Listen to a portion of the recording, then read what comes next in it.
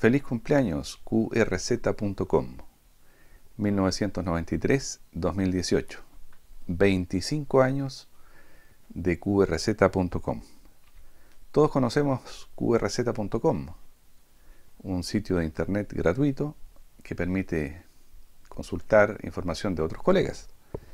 Y hoy, este año, está cumpliendo 25 años. El creador de este proyecto es Fred Lloyd, de Arizona, Alpha Alpha 7 Bravo Quebec, ingeniero de software que trabajó en Sun Microsystems y fue ingeniero arquitecto de sistemas eh, bajo Unix. Aquí yo tengo dos fotos de ah, Fred Lloyd.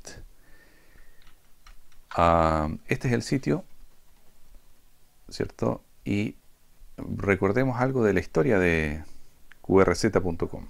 Digamos que en el año 1992 este proyecto consistió en obtener eh, las cintas de datos de la FCC, la Federal Communications Commission de Estados Unidos las, cintas con la información de todos los radioaficionados inscritos allí.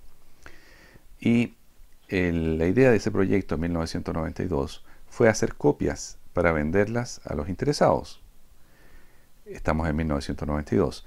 La primera experiencia que ellos tuvieron fue vender solamente 40 copias. Y, pero cuidado, eh, quien solicitaba la copia de esta base de datos tenía que enviar una cinta en blanco, una especie de cassette junto con 20 dólares por el costo de obtener los datos de la FCC. Eh, esa base de datos, la FCC la vendía en unos 700 dólares y consistía en dos grandes carretes de cinta de 9 pistas, de unas 12 pulgadas aproximadamente. Un gran carrete de esos que ya no se ven hoy en día. Entonces comenzaron ellos a preguntarse si podían esa información pasarla ya no en cinta, sino en los CD-ROM. Esos que tenían un formato de 650 megabytes, que todavía andan circulando algunos por ahí. Eh, en ese momento la base de datos tenía aproximadamente unos 50 megabytes, aproximadamente. De tal manera que cabía en esos eh, CD-ROMs y ellos comenzaron justamente a comercializarlos. Trabajaron en ese modelo varios años hasta que eh, eh, el año 1993, ellos eh, solicitaron el sitio qrz.com en internet, lo reservaron, 1993. Ah, en esa época había menos de 25.000 HOTS, eh, sitios de internet en todas partes del mundo, solo 25.000. Esto estaba comenzando, hoy día hay cientos o miles de millones de sitios. Ah, la primera página de Internet, recordemos, surgió en 1991.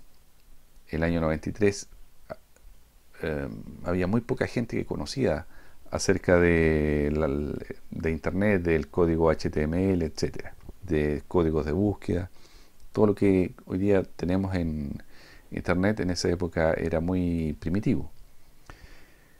Ah, y entonces el año 2009, después de operar muchos años vendiendo CD-ROMs, ellos dejaron de venderlos, vendieron aproximadamente 150.000 copias de CD. Pensemos que le haya quedado un dólar por cada CD vendido. Es una cantidad interesante. Hoy en día, toda la información que estaba en los CD-ROM y mucha más está disponible en el sitio web de qrz.com y los datos además se actualizan diariamente. Eso es amigos, feliz cumpleaños a qrz.com. 25 años sirviendo a los radioaficionados.